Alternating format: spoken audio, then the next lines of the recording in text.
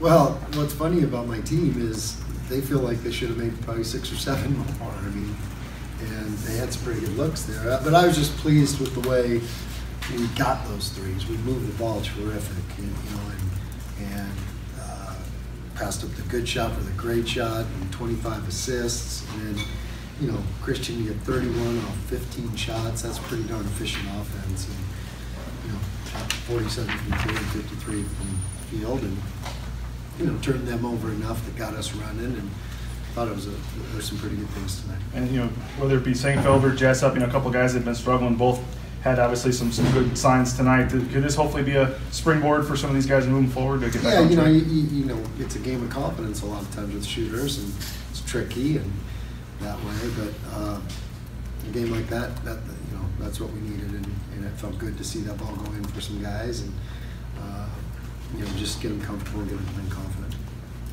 You uh, played 10 guys in that first half. Um, were you kind of just messing with or experiment, experimenting with lineups? Or uh, Well, no, you know, I think this time of year and, and with the grind that we've been on, we- we're one of the only teams in the league that haven't had a bye yet. And we had it, I mean, you look at it, at Wyoming, at Fresno, San Diego State, Utah State, Nevada, that was a you know, five-game stretch. It was pretty darn rough. And so energy was the factor that I wanted to uh, bring, and I wanted to see who could bring some.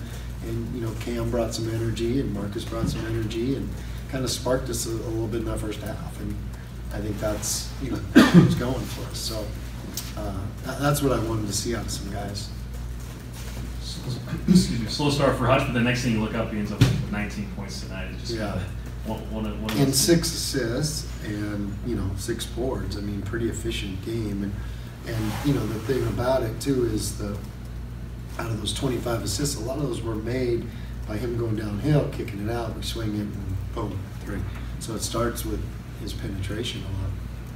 What did you think of what you got from Cam? It seemed like he, he provided some good minutes for you. He did, he, he did. He sparked a little bit of energy and uh, was flying around a little bit. I thought he had a really good game. I- That one little turnover he had was, uh, you know, otherwise I, I would have been really, really pleased with it. But, uh, you know, we, we did, we made a step up tonight on our turnovers too, so that was good.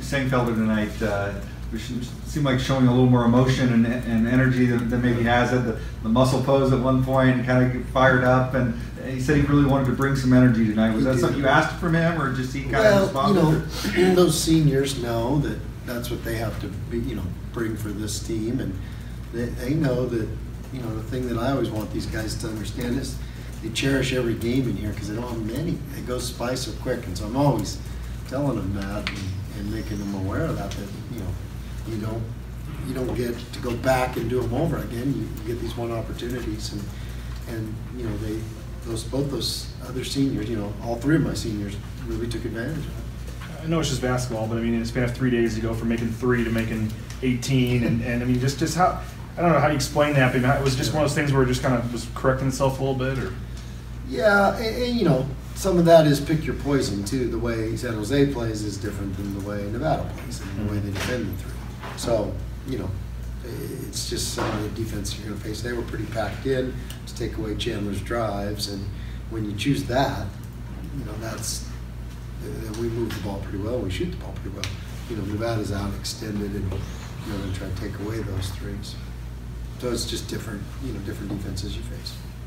you got 18 threes, but it was against the last place team in the league. Does that concern you at all? Because I saw you knock on wood yesterday, and so you seem like a little bit No, of a superstitious kind of guy. Yeah, no, I, no, it, it, when we make the right plays and we get the ball moving like we did, uh, we're gonna, and when we get open ones, we do a pretty good job of, of making them. You know, like I said, we made eighteen and our guys are kicking themselves like, hey, we should have twenty-five, you know?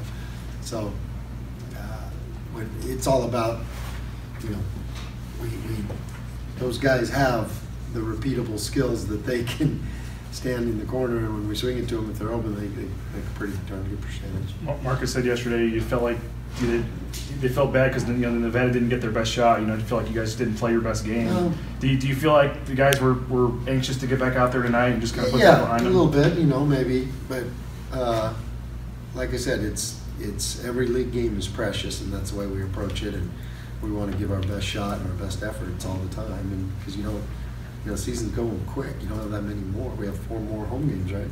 So, it, it, you know, like I said, playing here at Taco Bell, we, we take a lot of pride in it, and wanna, wanna play our best for Bronco Nation, and, uh, and we cherish every second we're out there. You're able to force 17 turnovers on defense. What's that like to see from your defense on a night when they make 18 three pointers and that the defensive might get overshadowed by that? Yeah, and that was important because I thought San Jose State was making some shots. They, I thought they played pretty good offense. You know, we were, you know, if we wouldn't have turned them over, it would have been a, it would have been a really, really tough game because I thought they were, I thought Coach Prioleau's doing a good job. He's, they're still battling. They don't look like, a, you know, to me, they don't look like a team that's has the record they have. So I think he's doing a great job and keeping them playing hard, and, and their ball was going in tonight, so it took a good effort by us, no question. Did, did you know Lexus was this good of a shooter when you guys recruited him? I mean, his outside shot It looked like he was. Mhm. You know, his numbers weren't telling me that, but you're, when you watched him, you're, you passed the eye test on shooting the ball. It looks great, and uh, uh, that that's a valuable weapon. And those two point guards, um, Lexus goes four for seven, and Marcus three for four. three for four. I mean, that's pretty darn efficient from your point guards.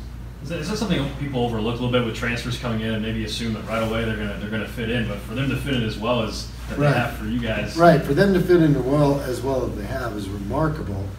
But we're, you know, you know, when you have a kid that you haven't coached before, you're, s- you know, it's January. We're still finding nuances in their game that we can, you know, accentuate with the way we play. And so we're still adjusting to them a little bit, and they're still adjusting to us, you know.